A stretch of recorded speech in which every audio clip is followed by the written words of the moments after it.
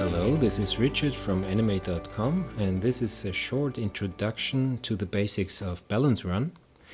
So let's start to look at the character which we have here. It's a very basic character with a very simple uh, skeleton armature inside and uh, it has a bunch of IK targets. In case you don't know what IK targets are, they are used to animate armatures and uh, generally you use empty objects uh, any one any of these to drive the bones. And in pose mode of your armature you can select a bone go to the bone constraints and uh, tell that you want to add an inverse kinematics constraint which looks like this where you can select your empty object. Like in this case I selected the left hand of the character. So I choose uh, an inverse kinematics target of the left hand to drive the angle of the arm, of the left arm. Balance Run animates these IK targets in global space and in case of Rigify it will animate them in the local rig space, so in the object space of your armature where they are usually placed.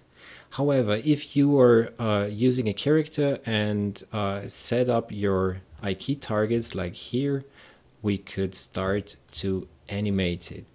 But of course, we don't want to animate everything like each bone and each target. With Balance Run, we are able to uh, animate a simple object as a target for the whole character. And then the character will follow the target across the scene. So it's crucial that we have some IK targets for the feet, which will drive uh, the motion, the animation of our legs, and of course a helper object which will move the rest of our armature. I placed an empty sphere here, called it hip, and uh, I would like to add this to the center bone, to the root bone of my armature. Uh, I can go into the armature pose bones uh, and select the uppermost bone in pose mode. So I'm able to add a bone constraint and I want to add a copy location and select the hip empty object as well as a copy rotation. You can find them here both and select the hip here. So it copies uh, the rotation and the location of the hip empty which is here. If I move it now, the whole uh, rig is moving with it and still trying to seek the IK targets which we set up earlier. I'm using IK targets for the hands and for the head and some for the ankles. The only thing now you have to animate is a target object, which is the cube here. It's moving around the scene and the character shall follow it. So we could uh, just select the armature. Uh, let's move to object space instead. So let's check if all our targets are uh, selected. We want to follow the target object, which is the cube. The hip, which is the root bone uh, copy location and copy rotation constraint target, is the hip, which is uh, selected as well and we need at least two IK targets for the feet. So balance run works uh, from two to up to eight feet. Um, and here are some props which are just additional optional IK targets. These are not necessary.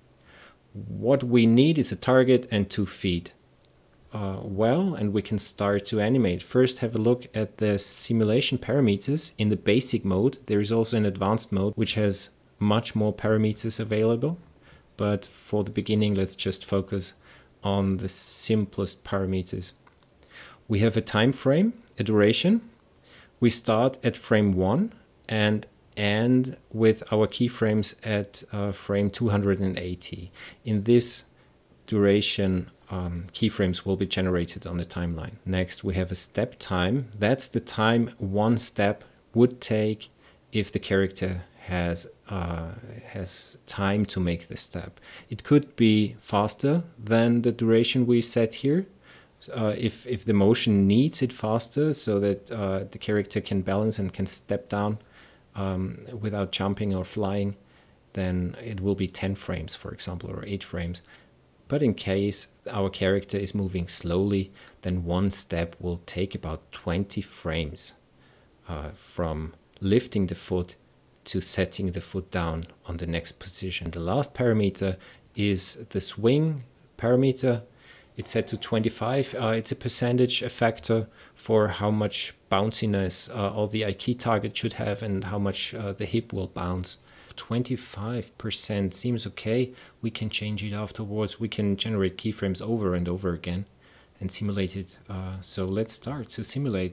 And already we see our character walk around and not only uh, follow the target but also follows the rotation of the target. So if I select our our target object here, we see how it rotates in space and the character also rotates in that direction.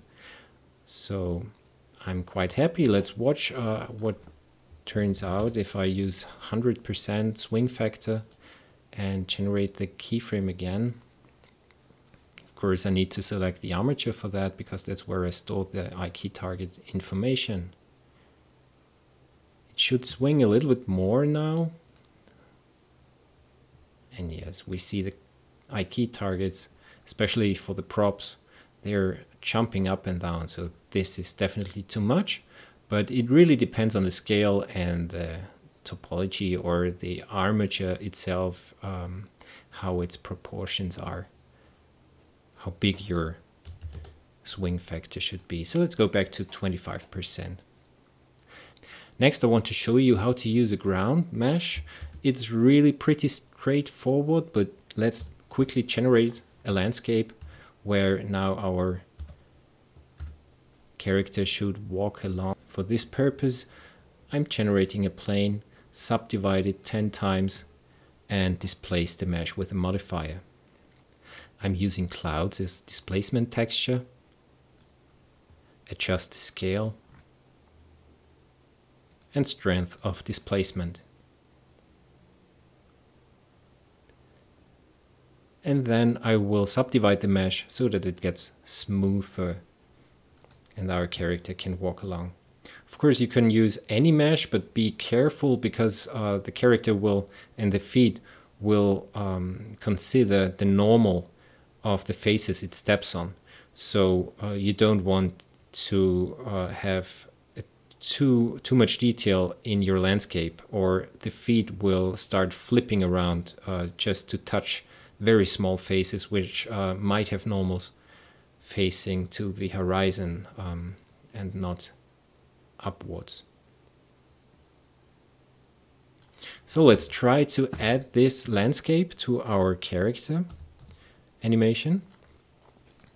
I'm selecting the armature again and now of course I select the ground object here. Uh, it should be plane 1. Plane is the character, let's uh, rename that. And plane 1 is our landscape. So if we hit the armature, we want the landscape to be our ground and I hit generate keyframes to simulate our animation.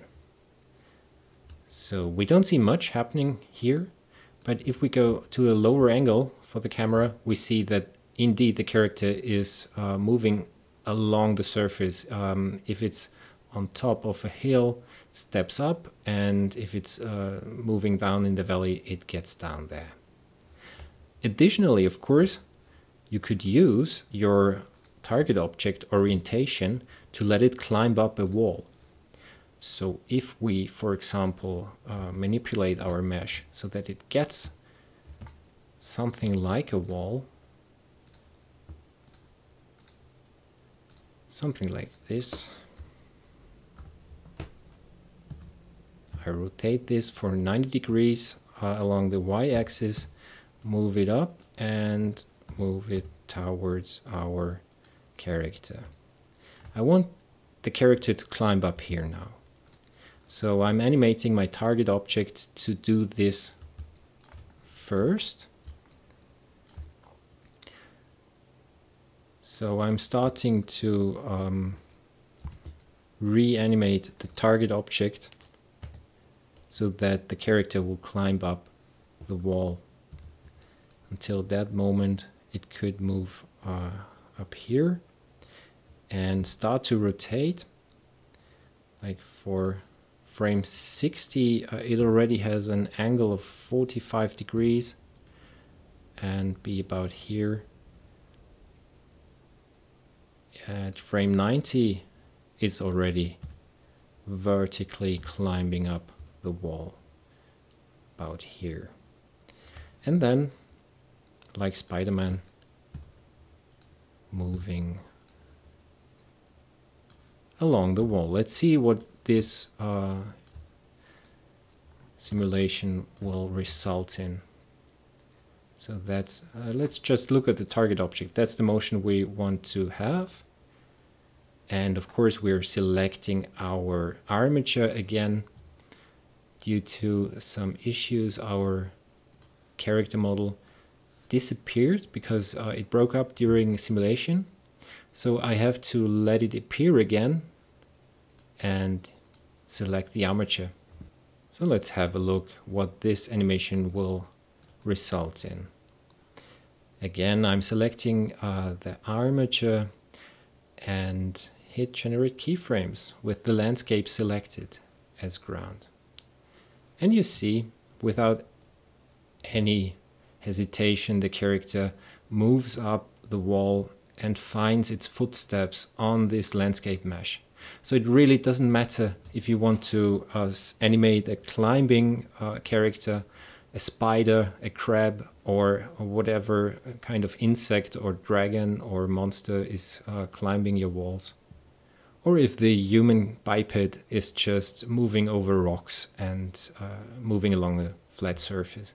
You can animate any orientation by just uh, animating the target object. So that's it for the basic introduction to Balance Run.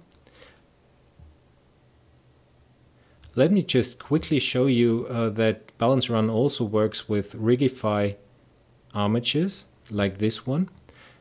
This character is from the open movie project Sintel. You surely know the model from the movie and we are trying to animate it uh, with balance run. This time, of course, we're going to use the Rigify option. And again, let's hide the advanced options because they might be uh, quite irritating at the beginning. We have some parameters set. I already set some parameters in the advanced option, so they are kept for the current simulation. Um, just because they're hidden doesn't mean that their variables, uh, their values will be deleted. Uh, they are still present, uh, we just can't see them. So for the current uh, animation, we have a target object, um, which is called follow character target. Let's have a look at its animation. Uh, quickly delete the simulation, the animation of the character first. In the advanced mode, there is a cleanup function where you can uh, quickly just delete the keyframes. And here is the character target moving around the scene. So it's quite similar to the previous animation. The only difference is that we're now dealing with a Rigify armature. It has a lot of custom shape bones to drive the IK constraints. And uh, in opposite to the non-Rigify armature simulation, this time our IK targets are placed inside the armature. So to access them, we would need to go to pose mode. Now I can select, uh, for example, the IK target for the left hand. It's not in world space, it's in rig space. It's in the object space of our armature. And this is why we now have to choose bones, because the IK targets are custom shaped bones. Um, although they're acting as IK targets, they're still uh, treated like pose bones. But apart from that, everything else is very similar. You select your IK targets for hands and for uh, the feet um, right off. I think the hands are hidden in property 7 and 8, uh, which you see in advanced mode. There are more, and for the basic mode, uh, they're just uh, four different options for the properties and four different options for the feed. So you can do dogs and cats and horses and tigers and lions and everything, dragons. But no ants or spiders or crabs, which would need six to eight. So the rest is pretty straightforward. Uh, again, we have a time duration where the animation shall take place. We have a time how long one step takes and our swing factor. So everything seems convenient. Uh, let's let's increase the step time to 20 frames and the swing factor of 25% seems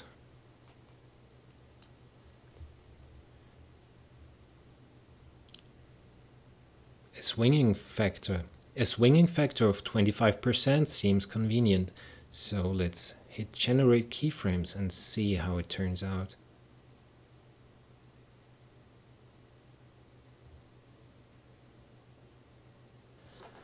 So Balance Run generates some keyframes on your timeline in a certain time frame. But that doesn't mean that it will animate your character flawlessly. This is not made to uh, completely replace the animator in the character animation process, but much rather to save crucial time uh, to find and balance out your character while it has to move along a surface. A balance run calculates that so I hope you see that this is a huge time saver and it will save you a lot of time if you're uh, someone who has to animate a lot of characters. And our animation is made. Sintel is walking around the scene, just like our character before, following the character target and making some steps here. We see that maybe here at this point, so that's a first introduction to Balance Run. Be sure to check out the next tutorial where we go through the advanced options and all the dynamics parameters. I hope you like the results of Balance Run as a basic animation tool and see you soon. Happy blending. Bye.